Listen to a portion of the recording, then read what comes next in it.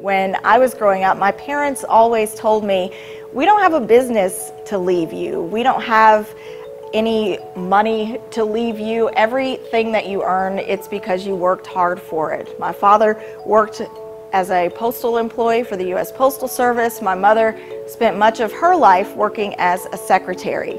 And what I've learned from her, even the earliest parts of her story, she graduated from high school, got married a short time afterwards.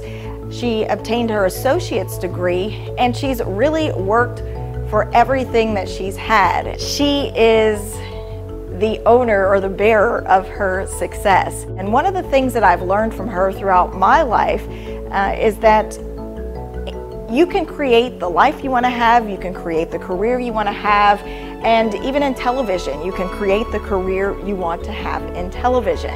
None of us can get to where we want to be alone. Sometimes it takes that one person just believing in us a little bit, taking that chance, and saying, hey, I kind of see something there. For the month of May, I would like to invite you to share your story. All of us, in some way or another, may have a strong woman in our life who made an impact and helped us get to where we are today.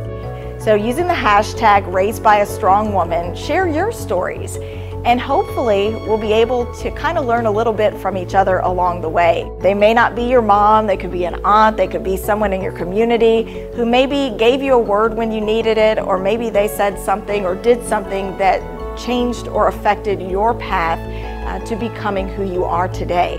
My goal is to ultimately take some of your comments, some of your stories, some of the information that you share and create a tangible piece of art that you can see and hopefully uh, something that can kind of show how we're all connected and honor those women in our lives who have made a difference and helped us become who we are.